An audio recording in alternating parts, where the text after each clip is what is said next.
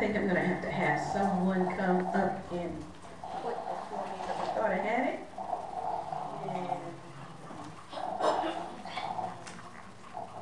And now it is up.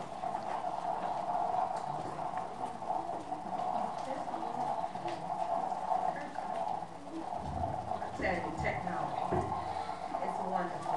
I tell you, when it don't work, it's, uh, you feel like trash.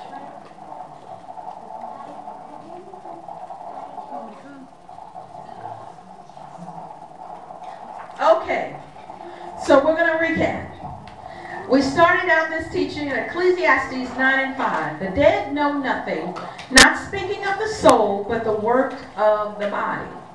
So we, when we went through first chapter, the first part of this teaching, that's what we came um, and con- came to the conclusion that it was talking, speaking of not the soul of the person, but talking about the work of the body as relevant to this world here, natural world.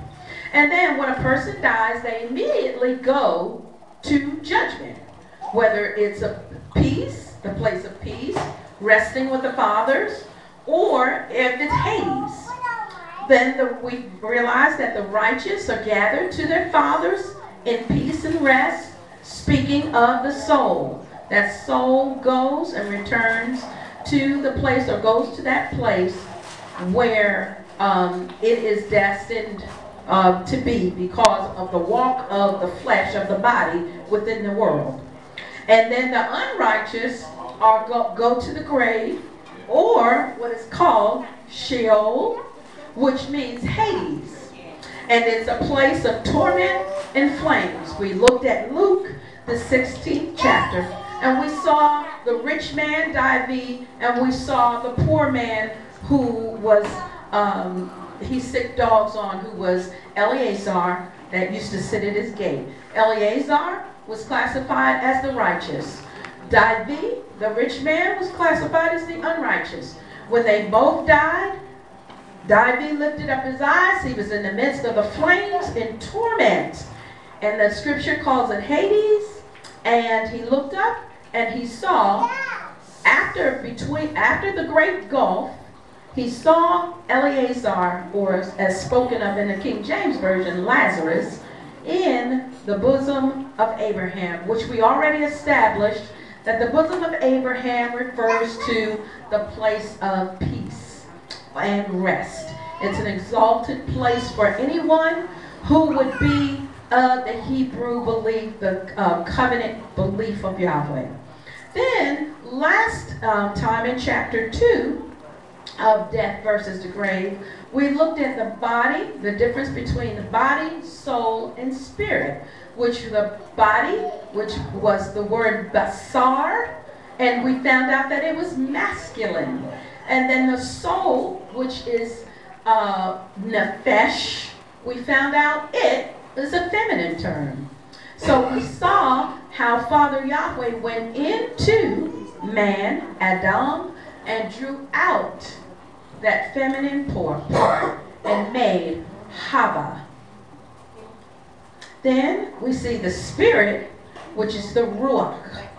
Now, what we have to, what we're going to go in today is we're going to try to finalize it and deal with a couple of questions that had come up in part two.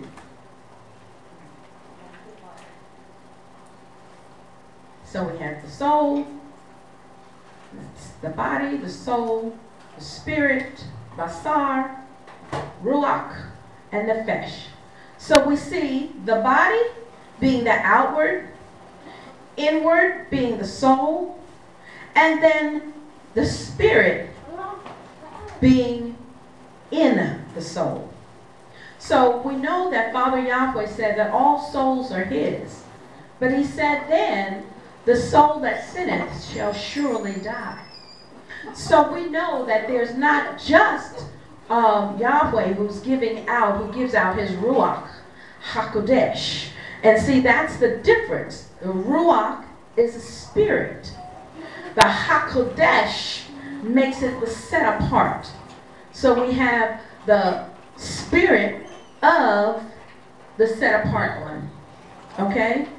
Now, as we know, and as many of you all know, because we deal with people every day, we know that some of those people do not the, have the set apart spirit in them. They have the spirit of the other one, of the enemy in them. So that's the portion that sets up within the soul. And that is what causes whatever your covenant you have accepted. And this is why it's so important for us as people of Yahweh to understand covenant. Uh, many times, you know, we often say, Rabbi and I have to do um, counseling, family counseling for people. We often say, you know, the, the um, you have to understand covenant as we go into these uh, uh, relationship uh, uh, situations like marriage, especially because it is a covenant. It's a promise. It's it's your word. It's just as the the the scripture says, it's better not to make a vow. That's why they call the things that we speak to each other when we stand before the minister, they call them vows because you promise to do this forever. In sickness and in health, till death do we part. But then when someone breaks that covenant, then that's why it's so devastating because it goes much deeper than we think according to just the body. That's why you will have people who say, oh, just get over it. Oh, oh, just get over it. But it goes deeper because it goes down to the, the covenant goes down into the soul and down to the spirit realm that dwells within that soul. And once it is broken, it is like a person, a part of that person has been taken and defiled. Not just flesh, but inward. Has anyone ever felt they've been defiled inwardly? That's that's deep. Because some people think that when you do something to someone, it's it's it's okay. Well, they'll get over that. But when it's done in such a deep level, like, like a rape or molestation. That goes much deeper than just the body. But it, now it's a soul issue.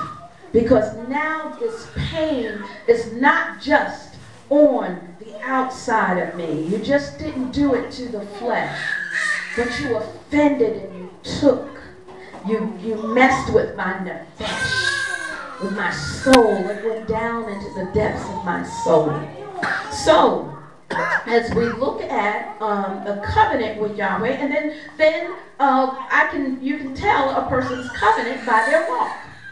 So, as Sabbath keepers, people say, well, what will people say? First thing people say when I say I keep the Sabbath and I keep the feast days of the Scripture, they say, "Oh, you're Jewish." Yep. That's the first thing they say. Yep. And that's a good thing because they relate it to what I mean, what a a a, legacy. a great exactly. That is great a great legacy to have. That someone can look at you and say, "Oh, you're Jewish." So we definitely look at that as a good thing that's because that's the covenant that they see, and that's what they can relate it to. Relating it to that as this is something that those people do. So now we're looking at death.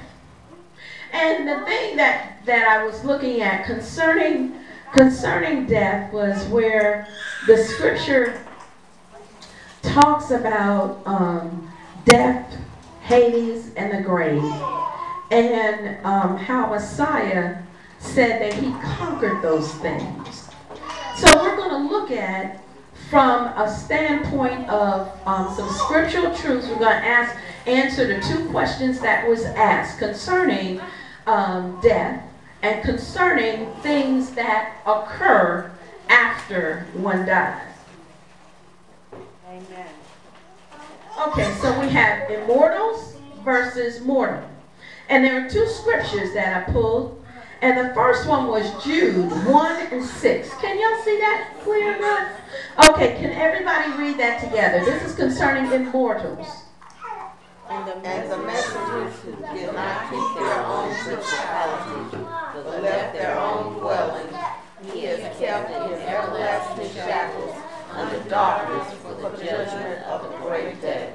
Okay, so we have these messengers that have fallen and that have the scripture says that they did not keep their own They did not stay in the area as immortals as they were supposed to.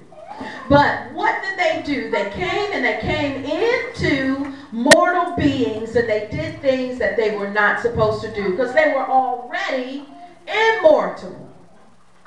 So, what happened to these people? It says, and he has kept in everlasting shackles under darkness for the judgment of the great day. So, we're going to talk about the great day. Now, what I think is so awesome, and what I think is so funny is um, when people say, um, well, we keep the first day of the week Sunday because that's the Lord's day. And I say, well, the Lord's day hasn't happened yet. Because the day of the Lord is the great day. That's the day when He brings judgment on this world and on the sovereigns and the kings and the, and the governments of this world.